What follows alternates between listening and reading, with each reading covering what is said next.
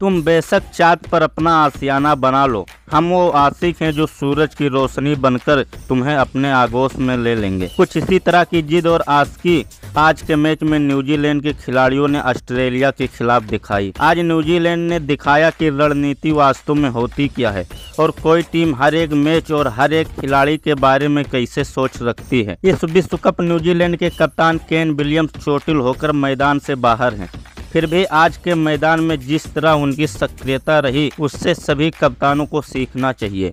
कि मैदान के बाहर बैठकर भी अपने टीम के लिए कुछ किया जा सकता है। एक तरफ़ श्रीलंका के कप्तान है जो चोटिल होकर गायब हो गए हैं। वहीं एक तरफ़ केन विलियम्स हैं जो चोटिल होकर अपनी टीम के साथ लगे हुए हैं। आज ऑस्ट्रेलिया ने न्यूजीलैंड के खिलाफ इतना रन बनाया कि लग रहा था कि उस स्कोर को पाना चाँद पर चढ़ने के समान है। जब टॉस जीतकर न्यूजीलैंड के कप्तान ने पहले फील्डिंग का फैसला लिया था, तब उनको भी उम्मीद नहीं रही होगी कि कैमरन ग्रीन की जगह टीम में वापस आए, ट्रेविस हेड और डेविड वार्नर पीट पाट के पटरा कर देंगे। लेकिन जिस बेदर्दी से वार्नर और हेड पिटाई कर रहे थे, मानो उनके हत्थे न्यूजीलैंड के गेंदबाज नहीं, बल्कि किसी क्लब के थर्ड क्लास बॉलर चढ़ गए हो। गेंदबाजी के कत्लेआम का जो सिलसिला पहले ओवर से चालू हुआ वो अड़तलसहवे ओवर तक चलता रहा। वो अलग बात है कि बीच के ओवरों में ग्लेन फिलिप्स एक विकेट कीपर ने अपनी स्पिन से वार्नर और हेड को न्यूट्रल करके थोड़ी बहुत वापसी कराने की कोशिश की थी। अंत में ट्रेंड बोल ने ऑस्ट्रेलियाई पारी के पुछल्ले बल्लेबाजों में से तीन बल्लेबाजों को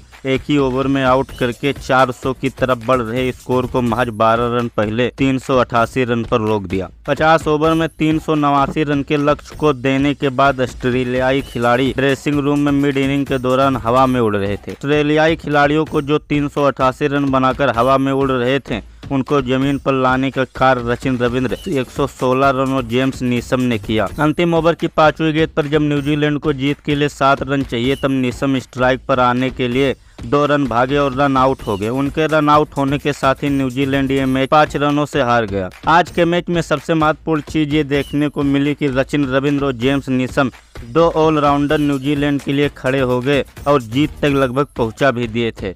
लेकिन किसी और खिलाड़ी ने साथ नहीं दिया, अन्यथा आज विश्व कप में सबसे बड़ा रन चेज हो जाता। कुल मिलाकर आज न्यूजीलैंड की मैच जीतने की दीवानगी देखने लायक थी। क्या आपको भी लगता है कि पेट कॉमिन